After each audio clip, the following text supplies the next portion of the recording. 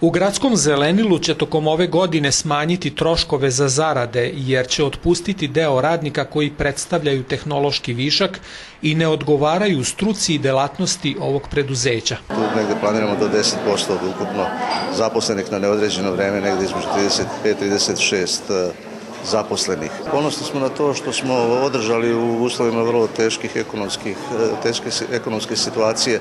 Zbilja smo grad održali u jednom urednom i zavidnom stanju, znači što se tiče održavanja zelenih površina, takođe i e, zasada.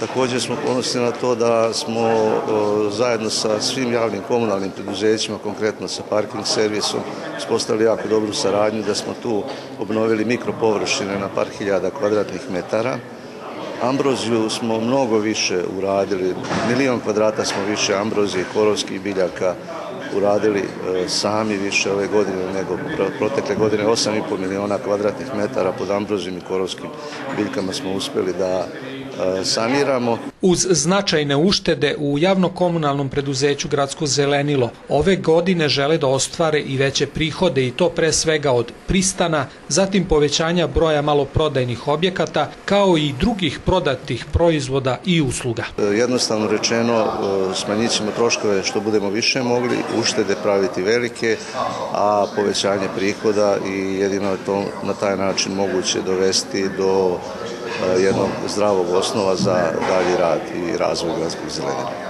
Od investicija koje će realizovati u 2014. godini u gradskom zelenilu planiraju izgradnju vetrozaštitnih pojaseva, zatim da završe ozelenjavanje bulevara Evrope, ali i da vrate u funkciju sisteme za navodnjavanje.